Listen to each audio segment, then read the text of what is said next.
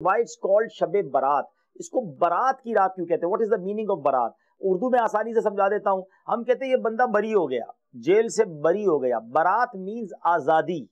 ठीक है ना? तो ये आज़ादी freedom from fire of hell जहन्नम की आग से आज़ादी की रात आती है। और कितने लोग बख्शे जाते हैं? सुबहान अल्लाह जरा सुनिएगा कि Shab Barat it's the vital night and it must not be spend carelessly A downpour of special blessings is showered abundantly in this holy night. In this auspicious night, Allah Azza wa Jal frees people from hell in a number more than that of hairs on the goats of the tribe of Bani Kalb. It is recorded in books that the tribe of Bani Kalb possessed, possessed the largest number of goats among the tribes of Arabia. यानी अल्लाह तबारक व ताला कबीला बनी कल्ब की बकरियों के बालों की तादाद के मुताबिक गुनागारों को जहन्नम से आज़ाद इस एक रात में फरमाता है। और उलमा फरमाते हैं कि ये कबीला बनी कल्ब की मिसाल क्यों दी गई? कि उस जमाने में सारे ट्राइब्स, सारे कबीलों में सबसे ज़्यादा बकरियाँ जो पाला करता था वो कबीला बनी कल्ब था।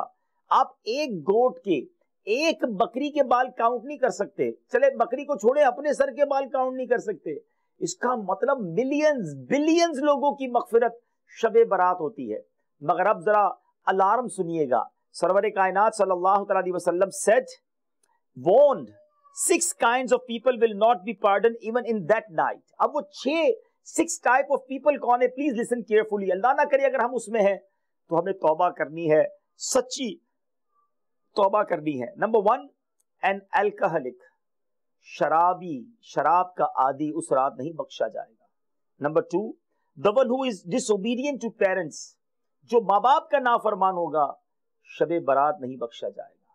Number three one habitual fornication बदकारी का आदि हराम कारी का आदि इस रात नहीं बख्शा जाएगा। Number four the one cuts off family ties जो अपनी रिश्तेदारों से कता ताल्लुक करता है, सिला रहमी नहीं करता, कता ताल्लुक करता है, वो भी नहीं बख्शा जाएगा। Number five the one who sketches portraits तस्वीरें बनाने वाला जो पोर्ट्रेट्स बनाते हैं या स्टैच्यूज बनाते हैं, वो भी नहीं बख्शा जाएगा।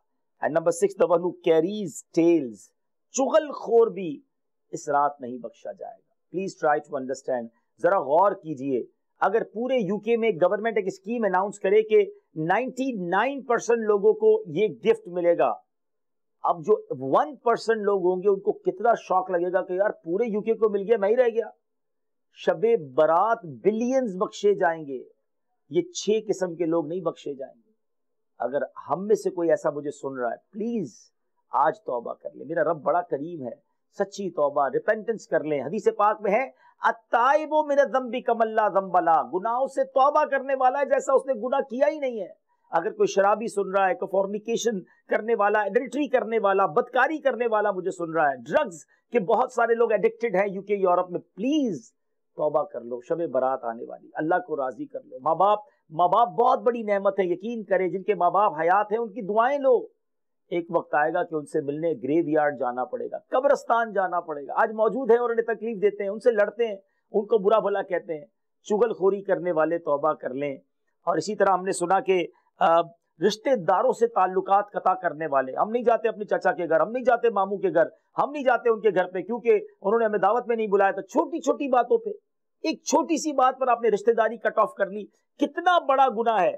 आप आप लिस्ट उठा ले कि जिस जिस रात में मगफिरत की बशारतें हैं, शब कदर, शब बारात, और बड़ी रातें, लेकिन जो बदनसीब नहीं बख्शे जाते, उनमें माँ बाप का नाफरमान, रिश्तेदारी काटने वाला नॉर्मली होता ही होता है। यानी अल्लाह की बारगाह में ये कितना बड़ा गुना है।